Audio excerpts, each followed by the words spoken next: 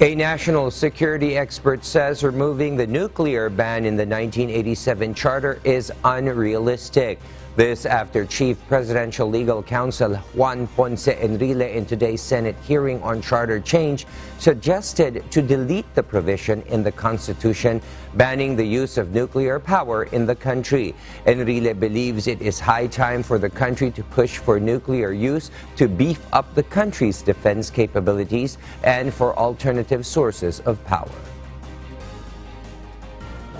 Kung na pa na hindi sinira yung planta na yon, mas nauna pa tayo sa Iran at saka sa North Korea na magkaroon, magkaroon ng nuclear bomb. At hindi tayo inaapi ng mga ibang bansa. Eh, kalukuhan yung utak ng mga gumawa niyan eh.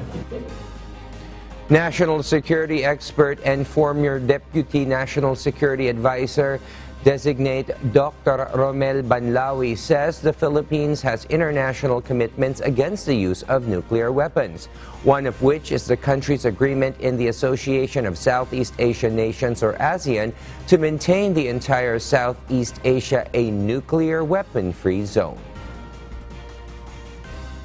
hindi lang delikado, kundi unrealistic. At ina-advocate din ng ah, Pilipinas yung uh, pag-dismantle ng mga weapons of mass destruction na inimical sa international peace and security. Hindi natin kailangan na mag-develop ng ah, nuclear weapons dahil ah, excessive yan pa for purposes of ah, defense.